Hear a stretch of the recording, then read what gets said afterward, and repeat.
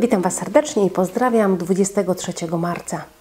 W psalmie 65, 8 wierszu czytamy Uśmierzasz szum morza, szum fal jego i wzburzenie narodów.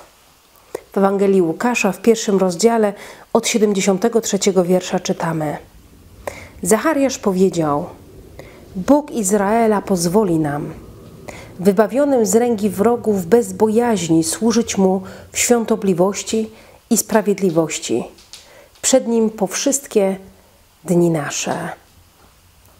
I modlitwa Zurgazinga, proszę Cię o światło dla wszystkich ludzi, dla dobrych i złych. Proszę Cię o pokój dla tego strasznego świata, o zmiłowanie dla świata nienawiści. Bądź blisko nas, abyśmy sami byli blisko Ciebie. Ulecz nas, prowadź nas, błogosław nam. Kochani, dzisiejsze wiersze przypominają nam, że Bóg jest niesamowity, niepojęty, wszystko mogący, wszystko może. On też może nieść pokój, może dać nam pokój, może dać nam schronienie i daje nam każdego dnia. Daje nam każdego dnia też błogosławieństwo. Każdego z nas nazwał swoim dzieckiem.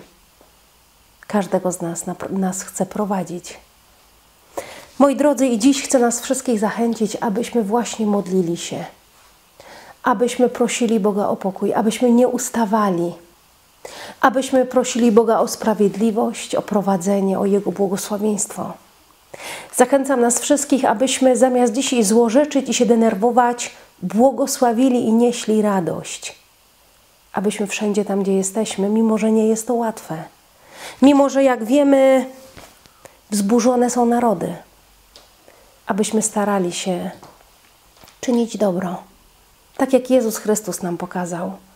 Przyniósł na ten świat miłość, przyniósł na ten świat pokój.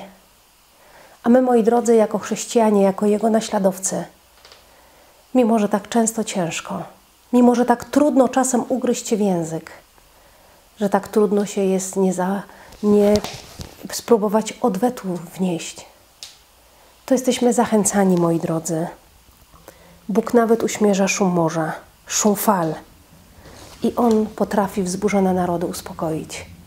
Dlatego zachęcam nas, módlmy się o to dzisiaj i trwajmy w tych modlitwach każdego dnia. Zostańcie z Bogiem i myślcie o wszystkich ludziach z miłością, mimo że nie jest to łatwe. Starajmy się trwać, nauczać, tak jak nauczał nas Jezus Chrystus. A przede wszystkim módlmy się nawet o tych, z którymi nam nie jest po drodze. Módlmy się. Wszechmogący Panie, dziękuję Ci za to, że Ty jesteś Bogiem pokoju, że Ty jesteś Bogiem, który może wszystko. Dziękuję Ci za to, że dzisiaj nam o tym przypominasz. Dziękujemy Ci za to, że Ty, Panie, dajesz światłość wszystkim ludziom, że Ty chcesz być blisko wszystkich ludzi, nawet jeżeli oni nie chcą być blisko Ciebie.